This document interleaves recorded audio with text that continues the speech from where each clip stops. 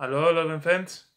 Ich liege fünf Tage unter den Corona-Symptomen und äh, musste mich zu Hause von meiner Familie isolieren. Ich hatte eine ganze Woche keinen Kontakt zu meiner Frau und meinen Kindern, um äh, sie nicht äh, auszustecken.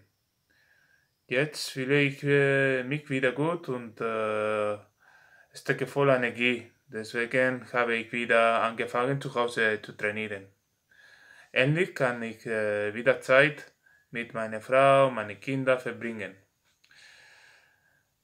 Zum Glück, äh, wir spielen, malen und trainieren zusammen.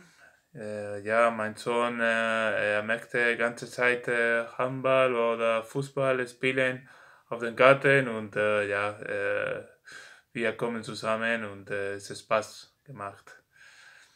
Und denkt dran, dass äh, ich liebe zu Hause. Ihr auch bitte.